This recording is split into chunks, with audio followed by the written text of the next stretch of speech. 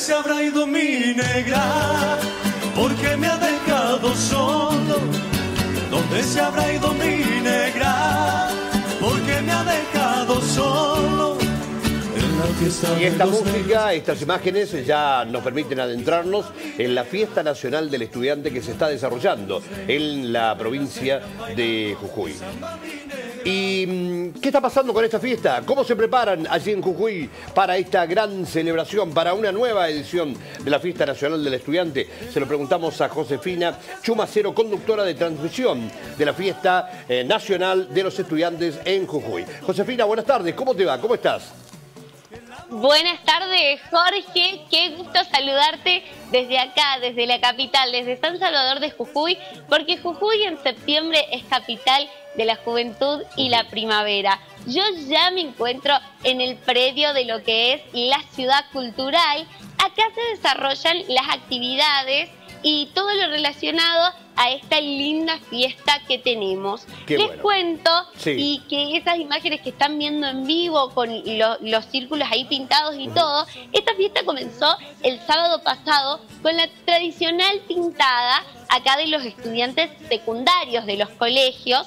Son las pre-promos y las promos, es decir, los chicos de cuarto, quinto y sexto año, en caso de que vayan a una escuela técnica, que participan en esta fiesta por supuesto con la ayuda también de, todo, de todos los otros cursos que colaboran eh, con la organización y todo para que, bueno, esas carrozas, como están viendo ahí, eh, la podamos tener acá desfilando. ¿Y cuántas escuelas, cuántos estudiantes, cuántos jóvenes realmente esperan, Josefina, para esta edición 2024? Bueno, te cuento que son este año 64 colegios los que están desfilando y las carrozas se dividen en carrozas, en carrozas técnicas que son algunas con movimientos y también en carruajes que son eh, carrozas pero con dimensiones un poco más pequeñas. Esto depende también de la cantidad de chicos que vaya a- al colegio. Pero bueno, acá, eh, como siempre, los alumnos ayudan y se solidarizan con, con los otros para que puedan terminar las carrozas. Esta agenda empezó el fin de semana anterior y termina el día 28 con la entrega de premios eh, a, cada, a cada colegio. Y los chicos, bueno, por supuesto, viviendo y, y con toda la alegría para esta primavera. Pero que bueno, realmente, sea, que es una fiesta que se extiende a lo largo de varios días. Sí, sí, mira, y te muestro acá un po- poquito, Sí, porque acá ya estamos con algunas de las carrozas. Este es el predio que está aquí en Ciudad Cultural y las carrozas llegan unos días antes a estos predios con carpa, porque te cuento, Jorge, Sí. que las carrozas están hechas con materiales reciclados y voy a ver si puedo hacer acá algún detalle para que ustedes también lo puedan ver. Por ejemplo, estas rositas que están acá están hechas de revistas. Por ejemplo, acá tenemos eh, lo que acá llamamos las ermitas que le eh, pegamos todos eh, porotitos, eh, arvejas. Acá hay chapitas de, de latas. Así que Qué los bueno, chicos qué bueno. trabajan aproximadamente desde junio para que sus carrozas estén totalmente terminadas. Qué, qué qué- trabajo realmente, ¿eh? Eh, increíble la labor para el desarrollo de estas carrozas. Eh, Josefina, la temática, Sí. ¿es elección de cada colegio o hay, digamos, de acuerdo al año, eh, un- una temática sugerida por los organizadores?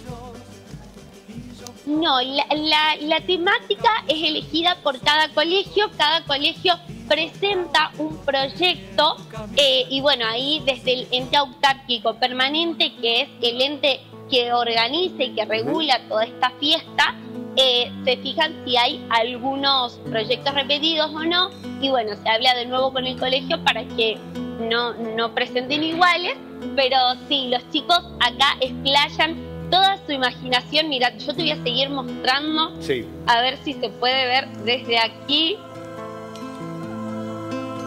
Mira, este es un carruaje y ahí están, bueno, también ultimando los detalles. Te cuento que para los desfiles de carrozas Sí. se dividen en dos grupos, en grupo A y en grupo B.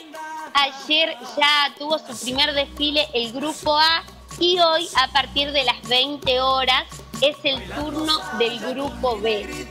En las carrozas también van eh, subidas las representantes de cada, de cada colegio. Y bueno, acá los chicos, como pueden ver ahí, eh, siguen recortando, siguen trabajando también para que cada detalle de las carrozas esté en perfectas condiciones, porque los jurados son quienes después se acercan y ven esos detalles, ponen el puntaje también y bueno, pueden obtener el, el 28 que está prevista. La entrega de premios, pueden obtener su premio. ¿Y cuáles son los premios? Eh, se, se entrega a cada colegio, el año pasado se entregaron también órdenes de compra y no, trofeos también. Los colegios obviamente están muy entusiasmados para, para llegar al podio. Hay colegios que vinieron del interior de la provincia, como Susques, como Perico, como San Pedro. Qué buena Así que los chicos hacen mucho, mucho esfuerzo para venir acá también a la capital. Hemos Claro. tenido la participación de los colegios de Casira, del CQ 30 de Casira. Así que bueno, todos viviendo estas fiestas.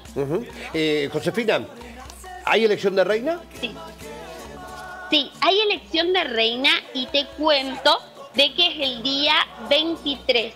Lunes 23 es la elección de representante eh, provincial, es decir, de que vienen los 16 departamentos a la capital, porque se hace acá en Ciudad Cultural, y vamos a tener por cada región, nosotros tenemos cuatro regiones, una embajadora y de esa embajadora sale la representante en provincial que después va a estar también participando junto a las otras chicas de las provincias, eh, bueno, que vienen de todos lados, de, de Buenos Aires, de Córdoba, de Santa Fe, de Entre Ríos, y de ahí sale nuestra representante nacional, que el año pasado fue Josefina Astorga, que ella es de la provincia de Tucumán, así que bueno, ella este año deja sus atributos Claro. y veremos quién, quién nos representará. Eh, em, quiero eh, preguntarte si esto realmente genera movilidad en cuanto a mm, la ocupación hotelera, la gastronomía. Eh, ¿Qué ocurre con este aspecto realmente? Sí, sí, por supuesto. Eh, por ejemplo, nos llegaron noticias de que eh, nos están visitando desde Entre Ríos.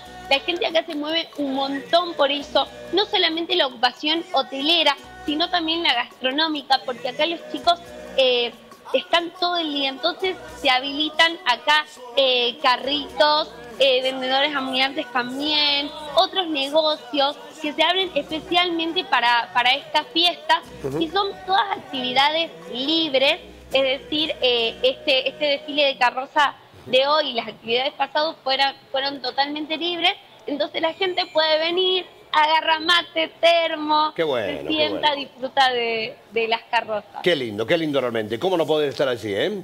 Realmente, nos encantaría.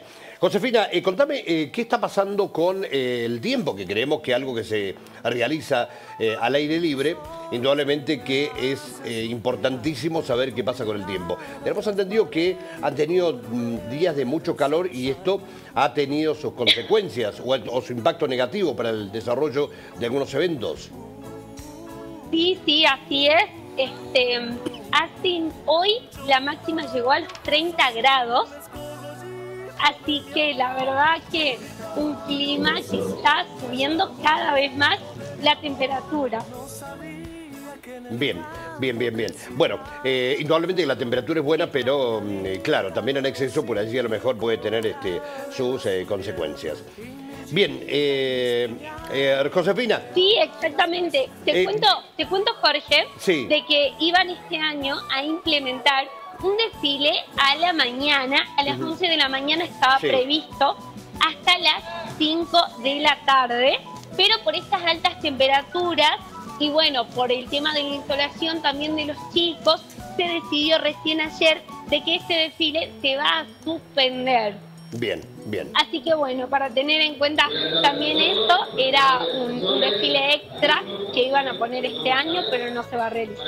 Bien, perfecto. Bueno, Josefina, gracias por todo esto que nos has comentado. Eh, te dejamos para que mm, sigas cuidando tu voz, tu garganta, porque tenemos entendido que vas a ser la conductora del evento, así que hay que estar eh, muy, pero muy bien eh, para ese momento. Queremos agradecerte realmente por todo esto que nos has comentado y bueno, que ojalá tengan una fiesta realmente espectacular, única, como realmente se merece la provincia de Jujuy y toda la gente que participe de esta edición 2024. Así que una vez más, muchas gracias, muy amable de tu parte. Muchísimas gracias, Jorge. Un abrazo hasta Córdoba. Chau, chau, chau, gracias.